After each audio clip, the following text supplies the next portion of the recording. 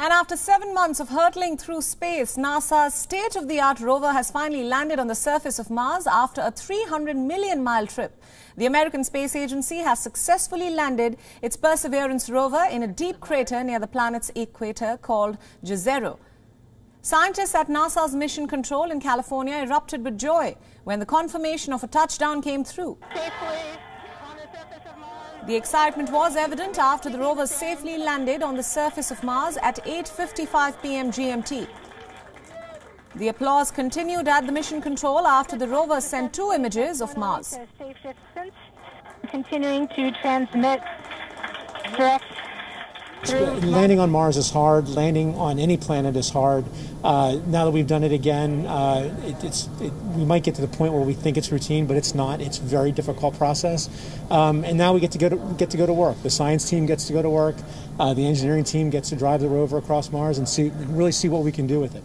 Uh, this is the most complex thing we've ever landed, uh, and it's just going to be a lot of fun over the next few years. Soon after the landing, the rover joined Twitter and made the announcement of reaching Mars with its first tweet. The account tweeted the first picture of, the, of planet Mars and it said, Hello world, my first look at my forever home. The six wheeled rover will now spend at least two years drilling into the rocks, looking for evidence of past life. And this is the first NASA mission to hunt directly for such evidence since the Viking missions in the 1970s. The rover has landed on 45 kilometer wide Jezero crater.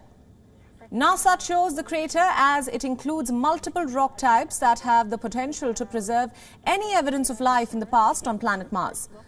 Mars 2020 is by far the most advanced mission to the Red Planet. It was launched in July last year using a special launch window that helped conserve fuel. Perseverance is the fifth rover on Mars and by far the most advanced.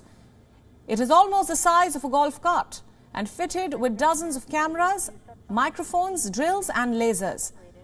Soon after the landing, NASA's new chief said that he hopes to send astronauts to Mars by mid to end of 2030s.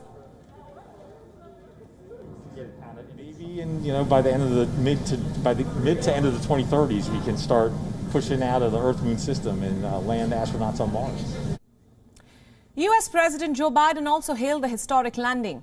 He congratulated NASA and said that the event has proved once again that with the power of science and American ingenuity, nothing is beyond the realm of possibility.